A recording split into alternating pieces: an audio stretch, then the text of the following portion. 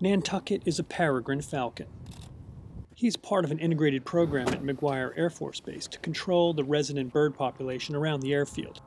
The primary objective of the management program is to reduce the number of bird strikes that occur on aircraft in the local vicinity of the airfield. You see, the peregrine is a bird of prey, feared by most other bird species.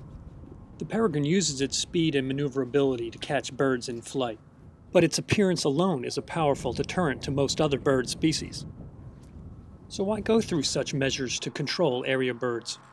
Obviously, with the recent U.S. air incident, uh, a plane striking multiple birds can bring down the aircraft.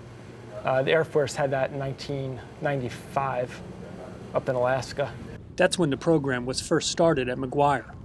In its first year, the bird strikes dropped more than 80%. It's the same as humans swimming in the ocean.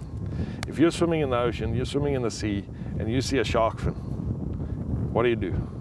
You get out the, you get out the sea, you get out the ocean. It's the same deal on the airfield. They see a falcon flying around, they get off the airfield. So what keeps the falcon from flying off into the wild? Food. Just like any other wild animal that's trained, food. It's, we condition them to respond to us for food. And the birds can leave at any time. Hopefully they don't. But yeah, it's, you can, you can lose a bird on any day.